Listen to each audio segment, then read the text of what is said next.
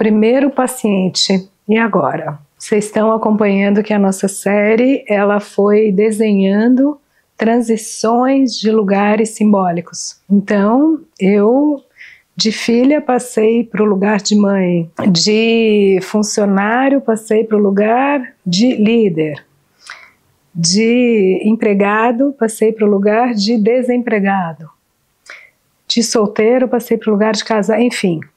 E agora a gente vai fazer mais um salto, né?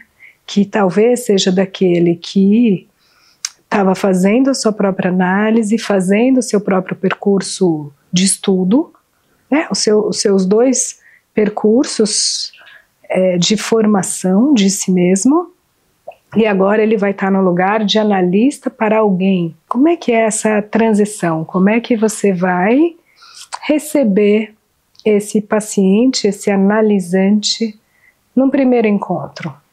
Como que você vai estabelecer uma relação com outro ser humano e uma relação talvez das mais peculiares, singulares, que é uma relação analítica? Porque você concorda que ela não é usual. Muitas vezes você nem olha no olho da pessoa. Por quê? Porque a pessoa está dirigindo o olhar, está lá no seu divã e ela não está querendo olhar para você, né? O objetivo central é cada um entrar em conexão com o seu próprio ser, com seu self, com seu inconsciente. Como é que você propicia um campo analítico de tal forma que o outro possa chegar lá e começar nossa, mas agora, ó, falando aqui com você, lembrei disso, daquilo. Isso que eu estou fazendo aqui me lembrou uma outra coisa, isso que eu acabei de falar. Essa é, vamos dizer, a textura principal do analítico.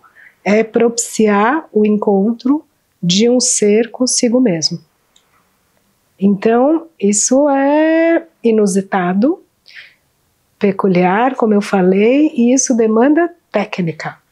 A gente aprende, a gente faz é, vamos dizer, cursos, a gente atende pedacinhos, mas e quando agora é com você? A bola está com você, chegou aquela pessoa, você é o analista, você é o terapeuta daquela pessoa. A primeira coisa para propiciar esse campo analítico, como eu estou chamando, né, em que cada um entre em contato com o desconhecido de si mesmo, Primeiro ponto é você ofertar um espaço minimamente, vou usar uma palavra que não é muito adequada, mas assim, minimamente confortável. Tem muitos estudos e livros sobre isso, né? O, o, até fazendo referência a como a gente vem ao mundo e a gente tem o bond, inaugurar o elo, inaugurar o vínculo primário com o grande outro materno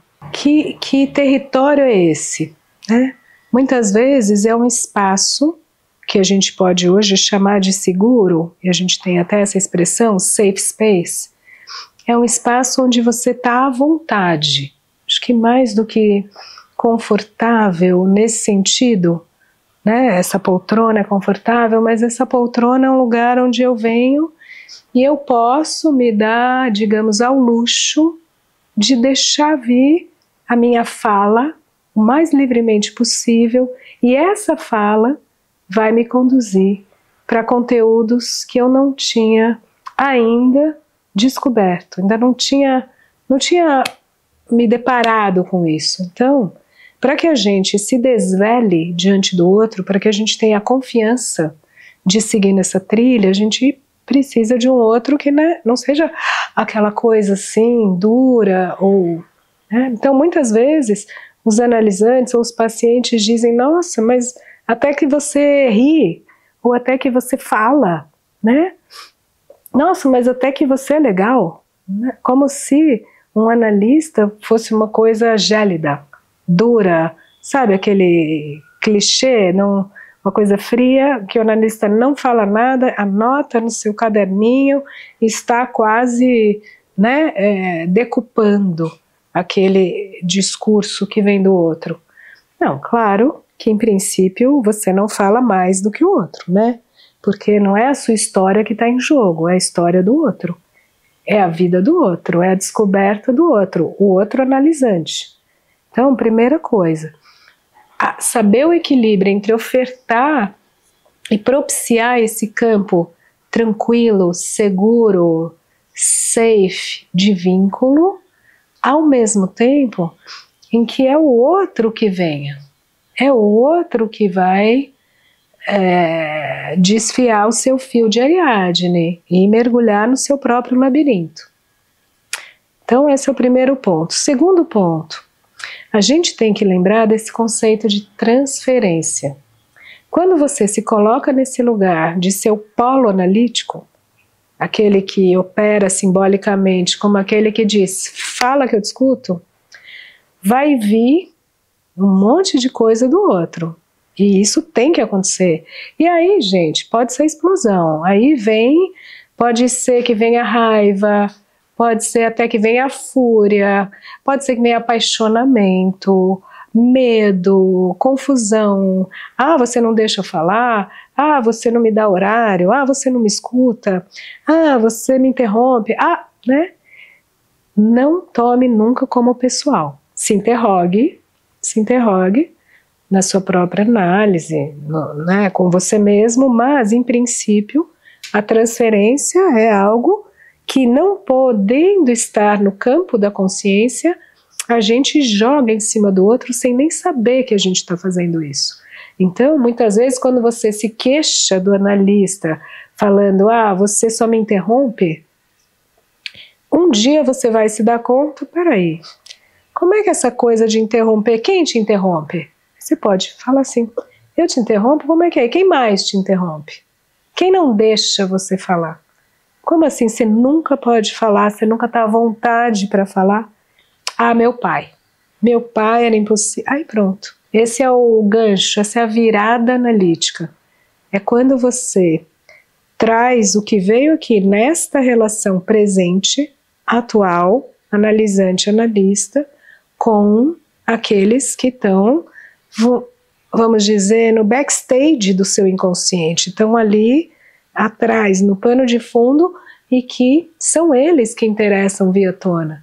Quais são as máscaras, as personas, as personagens que te constituem? Que, que você carrega com você? Que você está continuamente lidando com, competindo com, se apaixonando por? A gente projeta, né? a gente transfere projeta, se coloca. E isso é o próprio processo analítico, isso é o grosso.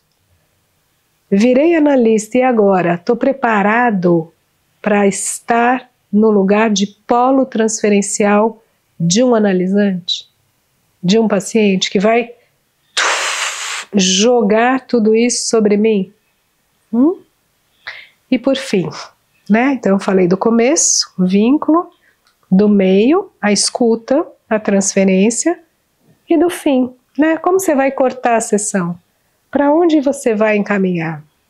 Vocês sabem que eu trabalho com tempo lógico e não tempo cronológico. Então não é 50 minutos, 45 minutos, 40 minutos. Não, é, pode ser um minuto, pode ser 100 minutos. O que que o que que está em jogo aí? O que que, né, o que que o que que veio? Veio a fala fundamental que amarrou as últimas dez sessões? Veio alguma consciência que. Insight, estrelinha, plim, plim, plim, plim, né? É aqui. Temos, temos. Vamos deixar aqui? Por hoje é isso. Por hoje tá bom. Muito bem. Muito obrigada. Até a próxima. Vamos ver o que que, né? O que que decanta o que, que produz, o que, que a gente, o psiquismo trabalha. Então a gente está oferecendo esse lugar de ser palco desse trabalho. Vamos ver o que você vai sonhar para trazer aqui de novo no nosso palco. Porque o trabalho psíquico inconsciente, ele é 24 sobre 7, ele está ali. Ele está dormindo, acordado, sabendo ou não disso, numa meditação ou não, escrevendo o diário dos sonhos ou não. Então, é isso que a gente quer. é, conectar esse, esse paciente com ser menos paciente daquilo que lhe moldou a vida e ser mais agente, ser mais sujeito. E saber disso, dirigir esse saber para alguém.